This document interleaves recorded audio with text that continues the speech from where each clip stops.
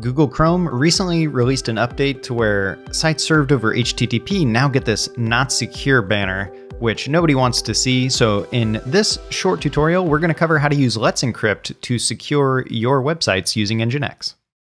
If you're unfamiliar with Let's Encrypt, it's an organization that serves up certificates for free and has automated tools around it so that the entire web can be served over HTTPS and we can have secure connections.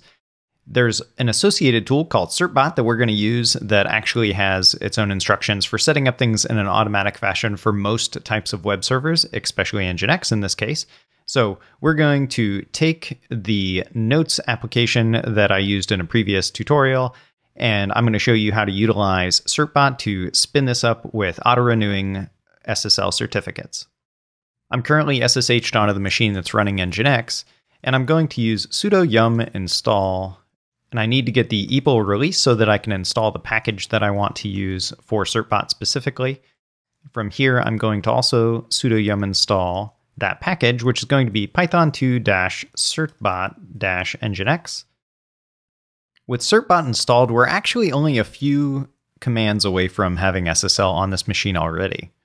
The first one that we need to run is going to be sudo certbot, and then we're going to give it the nginx flag to specify that we're running with nginx and it can go and make its own modifications for that. We're going to give it the dash D flag so it knows what domains to work off of, which is going to be notes.keytops.com in this case.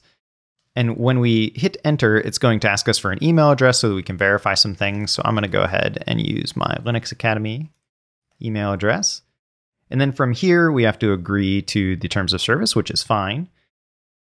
And are we willing to share our email? In this case, I am. What this is actually going to do is it's going to add a small path that it can render from. The Let's Encrypt certificate authority is going to verify that that path is installed and that we actually do control this domain.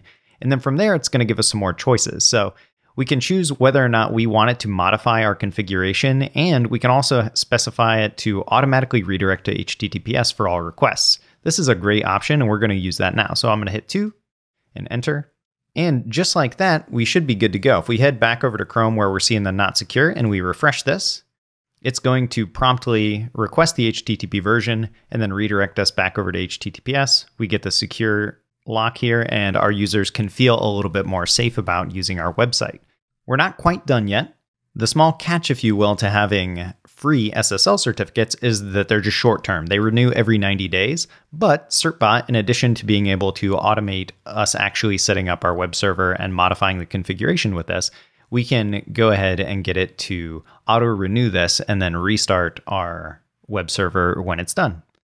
We're going to need to make one modification to the configuration for this. So we're going to use sudo vim etc sysconfig certbot and then in here, there's going to be a post hook option that we want to change to match this. We're going to do post hook.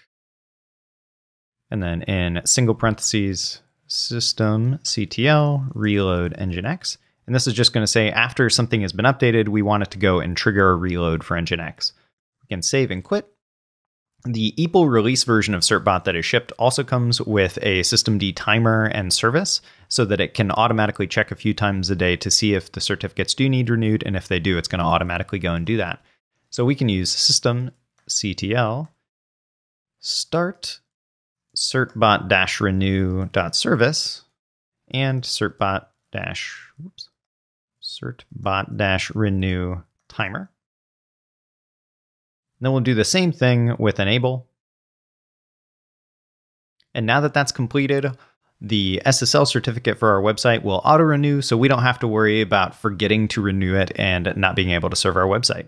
I really hope that you enjoyed this short tutorial, and if you want to learn more about Nginx and deploying on Linux systems, then head over to linuxacademy.com and you can check out the Nginx web server deep dive to learn how you can do some more fine tuning configurations for your Nginx deployments.